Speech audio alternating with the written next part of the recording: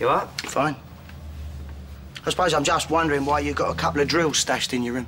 I only borrowed them from the arches. Really? Only the builder from the Vic seems to think different. Well, how does he know? Because I let him have a look in your room. He did what? Jay wouldn't do anything like that. I said, go and have a look round.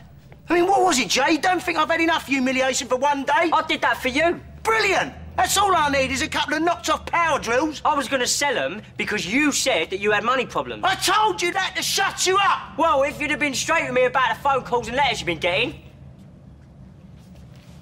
Who was that on the phone today? What happened to you when you was in care? What? Phil said something. Phil said what? Best to leave it, leave it in the past. What cowards do, though, it?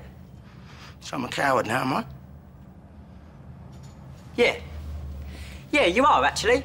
You're a coward and you're pathetic. Oh! Oh! oh. Jay! Oh, Jay! I'm sorry. I, I didn't mean it, Jay. I didn't mean it. Oh. Jay, I'm sorry. Oh.